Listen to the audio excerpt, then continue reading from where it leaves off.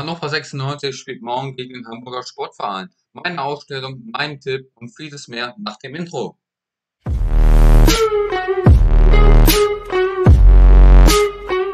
Ja, herzlich willkommen zum neuen Video hier auf meinem Kanal N96. Ja, heute soll es in dem Video mal um Hannover 96 gehen, nachdem wir uns gestern bzw. vorgestern den HSV genauer angeschaut haben. Heute soll es um die Ausstellung gehen, wie schon gesagt, um meinen Tipp für das Spiel und um allgemein meine Gedanken ähm, für das Spiel gegen den HSV.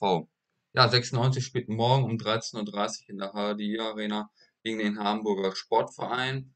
Der Hamburger Sportverein steht im Moment auf Tabellenplatz 3, nicht auf Tabellenplatz 2, da ähm, Fürth gewonnen hat, sowie Bochum.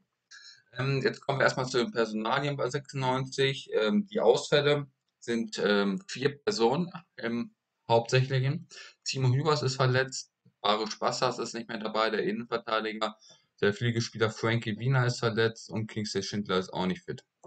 Dann gibt es noch ein paar mögliche Gelbsperren nach dem Spiel. Duxch hat vier gelbe Karten, Niklas Holt hat gelb, vier gelbe Karten. Das bedeutet also, dass es ähm, nicht gut wäre, wenn sie ausfallen würden gegen Würzburg. Das ist nämlich das nächste Spiel, also das übernächste Spiel.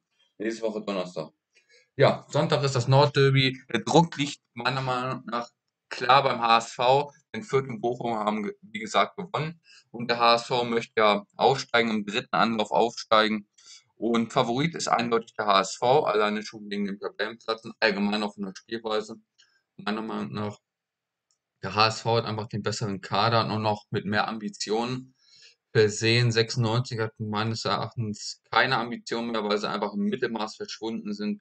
Haben 15 Punkte Abstand auf dem zweiten Platz. Das brauchen wir nicht mehr sagen.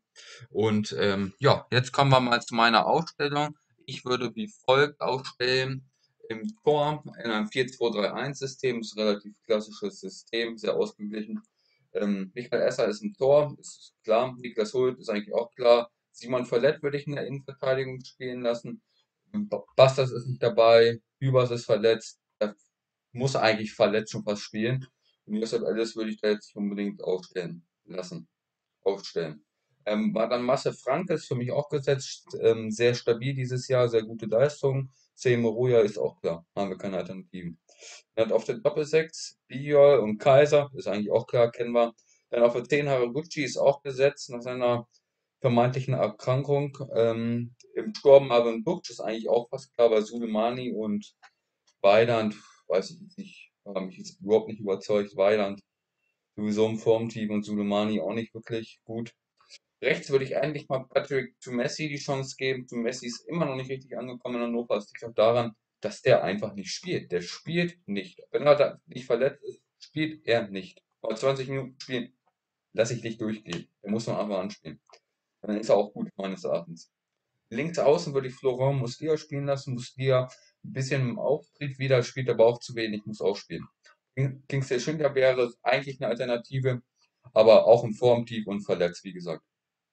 Philipp Ochs, ich kann mir gut vorstellen, dass Kenan Kotschak Ochs aufstellen lässt.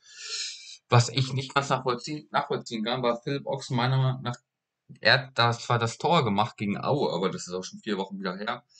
Deswegen kann man nicht wirklich sagen, wer jetzt spielt in der Offensive, das ist so ein bisschen raten, aber so würde ich zumindest aufstellen.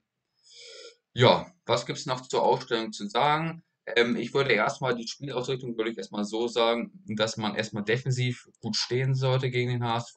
Der HSV wird wahrscheinlich mehr den Ball haben, gehe ich davon aus. Deswegen muss man hinten kompakt stehen.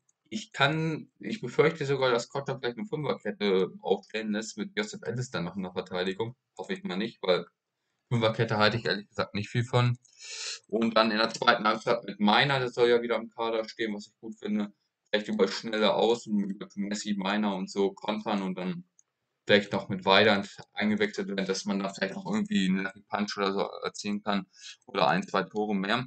Ich glaube, dass der HSV, jetzt kommen wir zu meinem Tipp, ähm, der, ich glaube, dass der HSV 2-1 verlieren wird gegen 96. Ich glaube, dass sie 1-0 führen werden. Und in der zweiten Halbzeit werden dann zwei Konter gesetzt über ähm, Linton Meiner und über Linton Meiner wird eingewechselt und macht das äh, zweite Tor und Marvin Duck macht endlich wieder ein Tor. Ja, das ist mein Optimismus-Tipp. Ich denke sowieso immer positiv, weil es hat einfach keinen Sinn, ähm, schlecht zu reden über 96, bevor das Spiel begonnen hat. Ich weiß jetzt schon, ich werde mich morgen wieder aufregen bei vielen Situationen, werde ich ja bestimmt morgen beim ähm, Analysevideo hören. Ja, jetzt kommen wir zur Endcard, beziehungsweise zum Abschluss. Ja, Sonntag kommt das Spiel, die Spielanalyse gegen den HSV, also eine Kurzanalyse meiner Meinung nach zu allgemein, was ich so über das Spiel denke. Dann später Hannover 96, wir sicher bis nächste Woche Donnerstag schon wieder das Nachholspiel gegen die Kickers aus Würzburg. Äh, dazu kommt Dienstag die Gegneranalyse. Werde ich gleich schon aufnehmen. Um Mittwoch meine Meinung und äh, die Aufstellung zu Würzburg. Also Alter vorher, Donnerstag dann spät abends dann die Analyse des Würzburg-Spiels und dann schon wieder die Analyse, also Vorschau auf Heidenheim und so weiter. Ja, also die Gegneranalysen werden jetzt mehr, werden jetzt durchgezogen, äh, zwei Tage vor jedem Spiel oder drei Tage, kommt drauf an, wie es passt, wird dann eine Gegneranalyse stattfinden, wo ich wie gegen HSV den Gegner ein bisschen beleuchte. Ja, also mein Tipp 2-1. Das war's mit dem Video. Lasst einen Daumen nach oben da, abonniert meinen Kanal, wenn er euch gefällt und noch einen schönen Tag und ciao.